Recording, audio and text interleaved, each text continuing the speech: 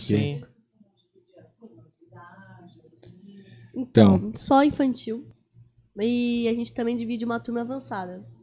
Tirando isso, a maioria é intermediária e iniciante, a gente deixa junto. Mas a, a turma infantil também é separada e a gente separa por idade também.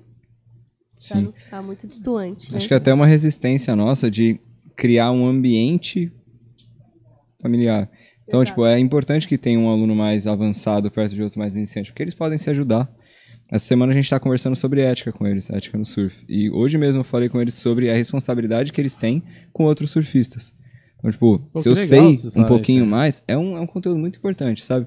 Porque, tipo, infelizmente a gente não vai mudar mais a cabeça de quem já tá na água. Eu tava conversando sobre a situação que você passou. A gente não vai mudar a cabeça de quem já tá na água há muito difícil, tempo é, e não educação. respeita, não tem paciência. A gente pode mudar a nova geração.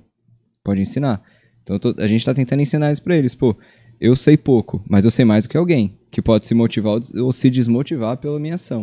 Mas eu acho que, cara, acho que a vida toda é aquela coisa, é uma reticência, assim, é aprendizado. O- Ninguém sabe tudo, né? O cara que sabe pra caramba, ele vai aprender com o cara que tá chegando de alguma forma, ele vai, vai aprender. Ah, a, gente troca de informação todos os dias. Né? Muito. Sim, Meu sim, Deus do céu. sim, exato. É, acho que que não tem fala- essa. é- é- chega um tem- momento, eu- assim, chega um momento da nossa fase de vida que a gente, eu acho particularmente que eu acho que todo surfista tinha que passar por um treinamento. Vamos supor, a minha origem é com o Cisco, fui atleta do Cisco e eu aprendi a respeitar.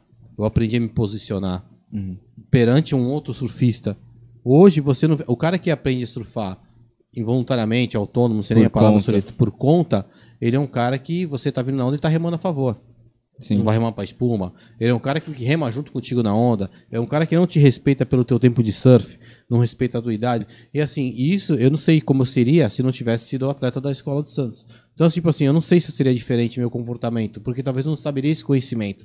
Por isso que a importância de você ter a ética dentro da sua, da- do seu clube, porque isso é, é primordial para quem vai entrar na água hoje, eu acho. Faz É, diferença. é, faz muita diferença e torna que o, o surf, para mim, o surf é uma terapia.